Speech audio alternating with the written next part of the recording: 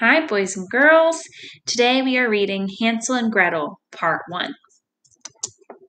Our learning objectives for today are to review the elements of fairy tales, retell and identify elements of a fairy tale, demonstrate an understanding of the word comforted, use a graphic organizer to compare characters in several fairy tales, and then identify and describe a heroic character from a fairy tale. Our key vocabulary today are comforted, glittered, and shocked. Comforted is a verb and it means soothed, tried to make someone feel better. Yusuf comforted his sister when she fell off the bike. Glittered is a verb and it means sparkled. Her mother's dress glittered in the light. In this picture, the ocean is glittering. Shocked is a verb and it means surprised. The teacher was shocked by the mess in the classroom at the end of snack time. What's a fairy tale? What are some of the elements of a fairy tale? A fairy tale is a fictional story and it usually starts with once upon a time. And is there magic in fairy tales? Absolutely. And how do fairy tales normally end? Happily ever after. Are there problems and solutions? Yes, there are. So, the next fairy tale that we're going to hear is Hansel and Gretel, and it's about a brother and a sister who have a problem that has to be solved let's do a little review of some of the fairy tales that we've already talked about and fantasy and reality. So, in this picture, is this picture fantasy or reality? It's reality. How about this one? Fantasy or reality? Fantasy. Why is it fantasy? Because there's a fairy, and we can't really have fairies in real life. How about this one? Fantasy or reality? Fantasy. I'm going to take the toy from the cat really quick. Hang on just a minute. Give me that toy. Not for you right now. okay.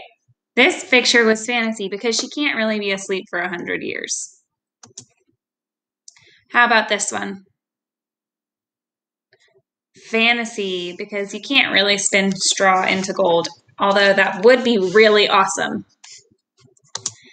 How about this one?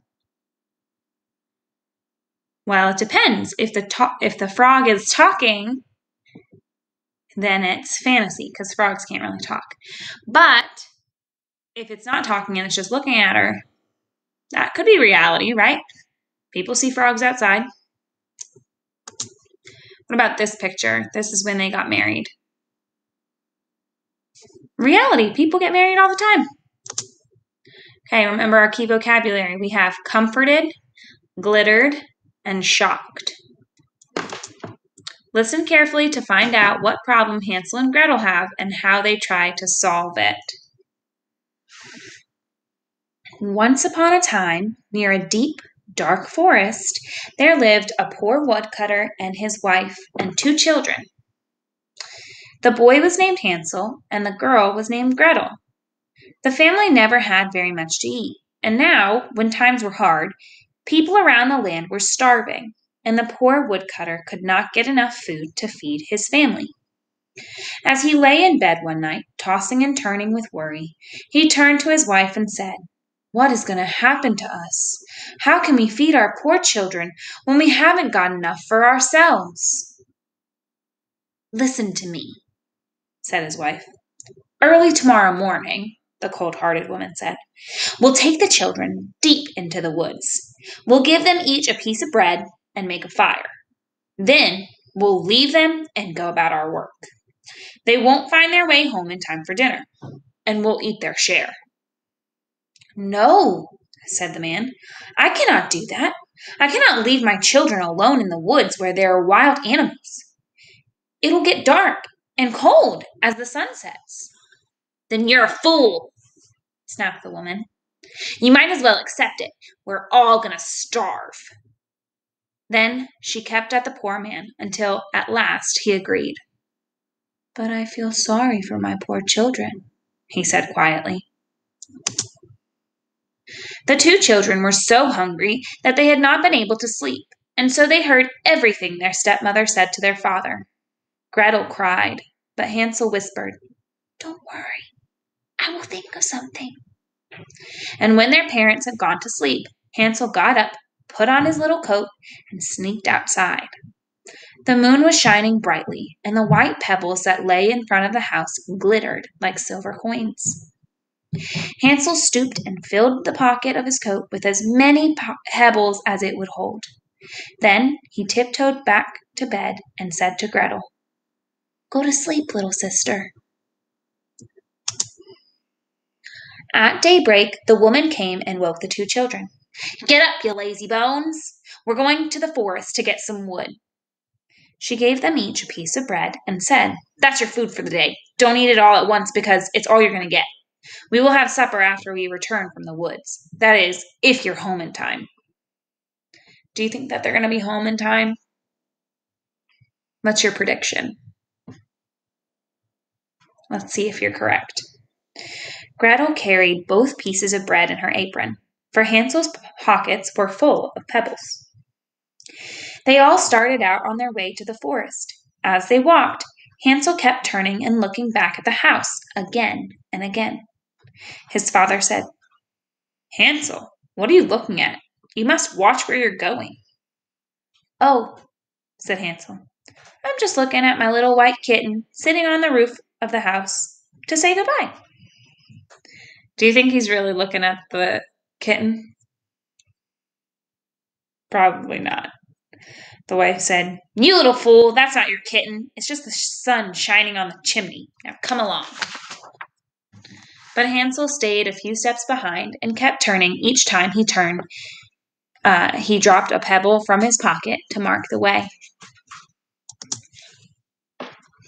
When they were deep in the forest, the father said, Gather some firewood, children. I'll start a fire so you won't get cold while we work.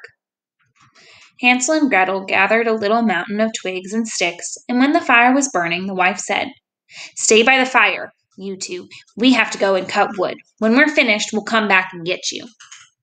Are they going to come back? mm So Hansel and Gretel sat by the fire. After a time, they ate their bread and after a longer time, they got so tired that they closed their eyes and fell asleep. When they woke, it was dark, and they were all alone. Gretel began to cry, but Hansel comforted her. Wait a little until the moon rises, he said. When the full moon had risen, Hansel took his little sister by the hand and followed the pebbles, which glittered like silver coins, and showed them the way. What does a full moon look like? it look it's a whole circle, right? And it's really bright and it lights up the sky and the earth too. So that is what made those pebbles glitter. Okay. They walked through the night and at the last and at last at the break of day they came to their father's house. They knocked on the door, and when the woman opened it, she was shocked but all she said was, Why, there you are! Why did you stay so long in the forest? We thought you were never coming home again. Of course, their father was glad to see them, for it had broken his heart to leave them alone. Not very long afterward, times were hard again, and there was little food to eat. Again, the children heard their stepmother say to their father one night, There's nothing left but a half a loaf of bread. After that, we're done. We don't even have enough food for ourselves and the children. This time, we'll take them so deep into the forest that they won't find their way back for a week.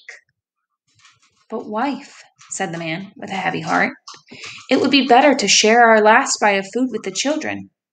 But the wife would not listen to him, and she knew if she kept at him, she could get him to give in and agree with her plan as he did before. Much later, when the parents were asleep, Hansel got up to collect pebbles just as he did before, but he couldn't get out. his stepmother had figured out how they found their way home last time and had locked the door. So Hansel got back into bed and tried to think of a different plan. What do you think he's going to do next? Oopsie.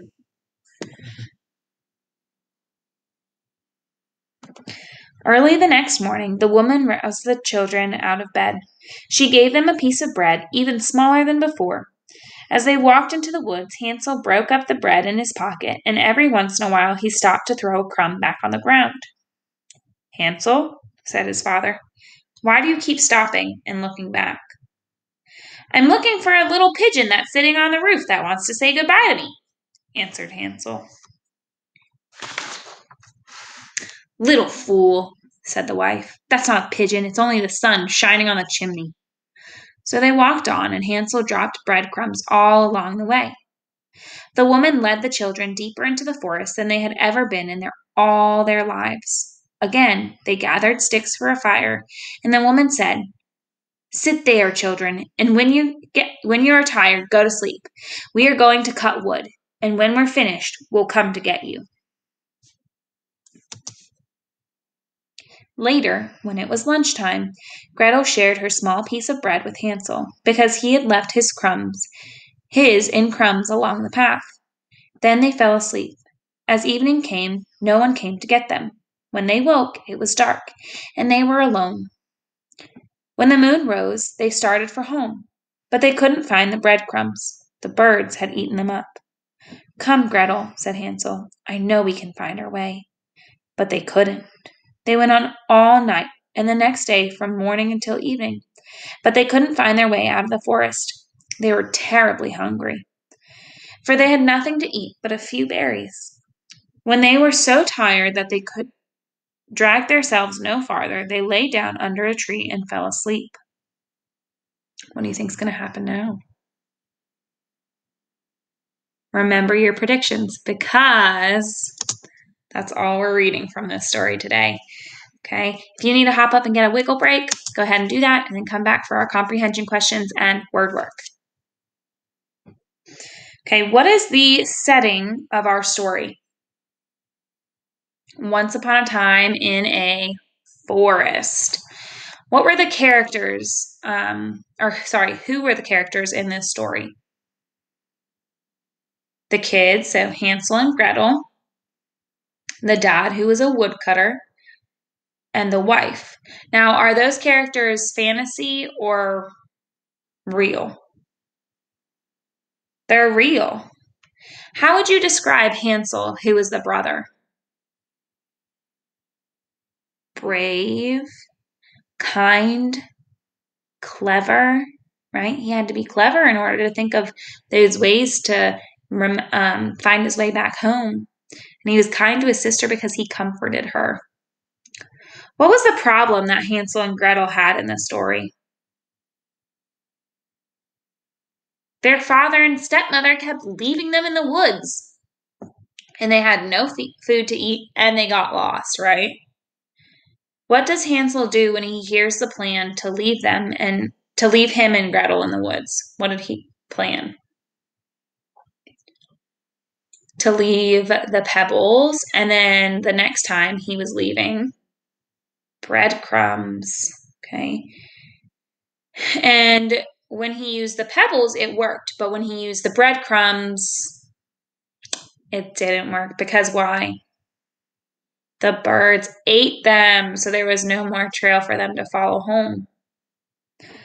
How does the stepmother feel when she sees Hansel and Gretel return the first time? She was surprised and she was unhappy. And what about the dad? He was happy to see them, right? So, what does the stepmother do the next time she plans to leave him in the woods? What'd she do to Hansel? He locked or she locked him in the room, right? So he couldn't go out and find pebbles. So um, do you think that the woodcutter should have gone along with the stepmother's plan for leaving Hansel and Gretel in the woods when he knew what he was doing was wrong? Probably not. He shouldn't have done that. That wasn't very kind. He wasn't being a very good dad, was he? Okay, word work. In the read aloud you heard, Gretel began to cry, but Hansel comforted her. I want you to say the word comforted. Comforted. Can you say it in a whisper voice? Comforted. Can you clap it out? Comforted. Okay. If you have been comforted, that means that someone has tried to make you feel better when you are sad or upset. Have you ever comforted somebody? What did you do to comfort someone? Okay, I'm going to ask a question and I want you to think of how you're going to answer the question. And I want you to use the word comforted in your response. Have you ever been comforted by a friend? I know I have been comforted by a friend. Have you ever comforted a friend? I've comforted a friend. Have you ever been comforted by somebody in your family? I've been comforted by somebody in my family. Have you ever comforted somebody in your family? I've comforted somebody in my family. Have you ever been comforted by a teacher? I've been comforted by a teacher. Okay, here we go. So, what is a hero? If I say that they're a hero, what does that mean?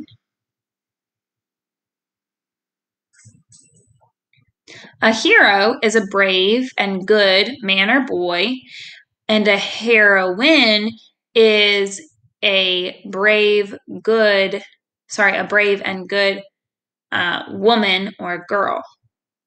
Okay, so someone who is heroic is very brave and daring and good. Someone who is evil is very bad or wicked. So, evil is the opposite of heroic. We are going to compare heroic and evil characters in the fairy tales that we've read so far. So let's think about the fairy tales we've heard. Let's start with Sleeping Beauty. Who was one of the heroes in Sleeping Beauty? The fairy who changed the curse from her dying to just sleeping. Um, the prince uh, and who were the evil characters? The 13th fairy, right? Um, what about in Rapunzel? Who was a hero? The prince.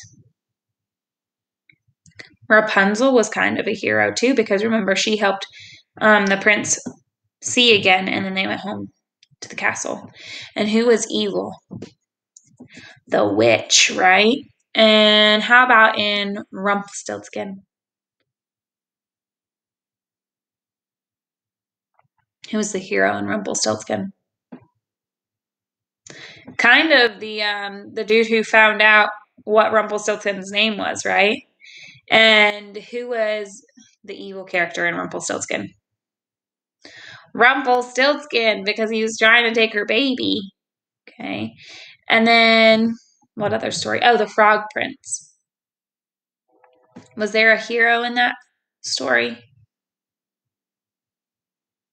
Well, the frog did go into the well and get the ball. So he's kind of a hero that way. And the girl, because she kept her promise and she ended up kissing the frog, she saved the frog from the curse that the witch had put on him. Who was evil in that story? The witch was evil. But also, kind of, the princess was evil for a little bit, right? She wasn't very nice to the frog at first, but then she then she was nice. Okay, and Hansel and Gretel, who was a hero. Hansel, right? Because he helped his sister get home, and who was kind of evil the stepmom. Okay. Okay. So we reviewed the elements of fairy tales. We were able to retell and identify elements of a fairy tale. We demonstrated a word, an understanding of the word comforted. We used a graphic organizer to compare the characters in several fairy tales. So we didn't actually use the graphic organizer. This is the graphic organizer. So if we had answered the questions for like who was hero and who was evil, we would have put the heroes on this side and the people who were evil on this side. Okay. Um, and then we were able to identify and describe heroic characters from fairy tales. Okay, awesome job. See you next time.